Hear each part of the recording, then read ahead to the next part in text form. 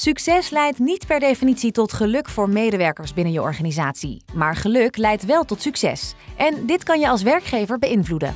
Stel je eens voor medewerkers die met heel veel plezier naar hun werk gaan, die bevlogenheid tonen, die het gezellig en fijn hebben met hun collega's, die productief zijn, die zichzelf in de spiegel durven aan te kijken, kijken hoe ze hun werk doen. Het is echt wel iets waar je aan moet werken, zowel de organisatie als de medewerker. En dan is geluk echt de smede. Dus door te investeren in je medewerkers verhoog je de omzet, verlaag je je kosten en dat is toch wat iedereen wil. Gelukkige medewerkers en gelukkige klanten maakt happy profit.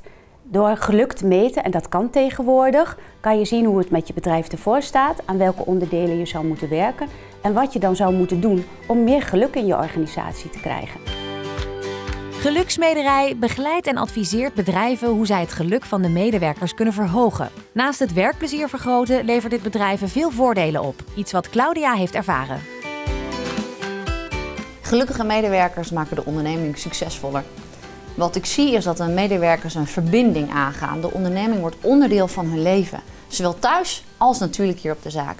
Ze gaan samen voor de gezette doelstellingen, die hier in het team. Maar thuis wordt er trots verteld over wat ze bereiken met elkaar hier. Dus het is helemaal onderdeel van hunzelf, van hun ik. We hebben ten eerste een uh, geluksscan laten doen. En daar kwamen resultaten uit. En met die resultaten zijn we ons op bepaalde uh, punten gaan focussen. En daar hebben we hele heldere doelen op gezet. Ik heb een kans gekregen, want ik ben de zesde generatie van een familiebedrijf. Dus voor mij voelt het, ik kan mijn dromen waarmaken. En daarom wil ik graag met de mensen samen kijken, hoe kan je hier nou gelukkig zijn? Mijn tip is, je kan heel lang over werkgeluk praten. Je kan er ook heel veel over lezen. Maar uiteindelijk gaat het erom dat je het doet.